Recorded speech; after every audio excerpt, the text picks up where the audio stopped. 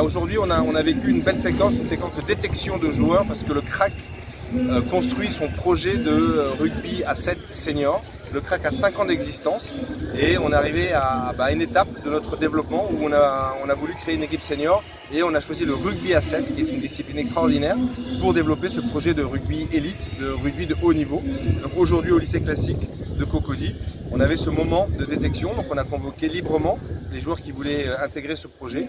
Et avec Silvertian, qui est présent, qui est consultant technique de notre club, eh bien, on a passé deux heures à observer et à tester ces joueurs et on les remercie infiniment d'avoir joué le jeu. Vous les avez testés sur quoi?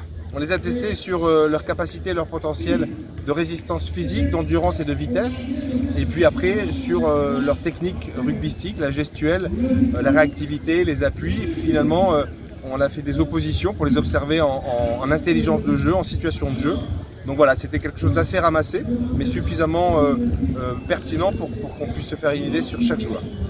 Alors, quels seront les aboutissants de, de ce test Vous aurez combien de, de joueurs après L'objectif du crack, c'est de produire un, groupe d'une vingtaine de joueurs, sachant que le rugby à 7 se joue euh, à 7, comme son nom l'indique, mais sur une feuille de match, il y a 12 joueurs.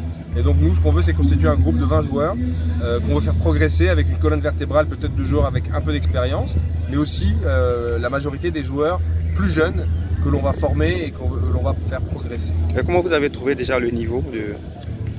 assez, assez hétérogène, mais on le savait. Euh, il y, a, du potentiel, il y a du potentiel, donc on va délibérer, on va analyser tout ça, et puis, euh, et puis je suis sûr que, ça ira.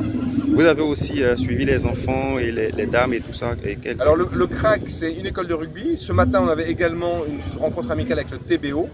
Et puis le CRAC, c'est aussi un projet autour du développement du rugby féminin avec les Amazones, dans le cadre d'une entente avec Orca Sabobo. Et, et le CRAC, c'est aussi un pôle jeune, U16, U18, donc voilà, donc le CRAC est en train de se consolider autour de différentes sections, différents projets. Et donc les enfants, les femmes, les filles et les, jeunes femmes, euh, les jeunes U16, U18 et maintenant les seniors.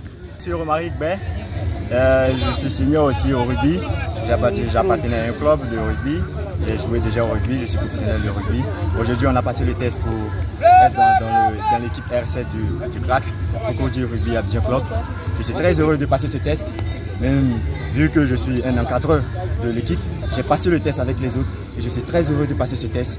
J'espère pouvoir conquérir le, club, j'espère pouvoir être au meilleur de mes performances. Je suis très heureux.